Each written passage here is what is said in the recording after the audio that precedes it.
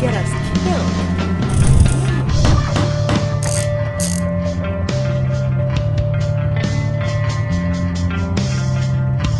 What's that funny smell in your car?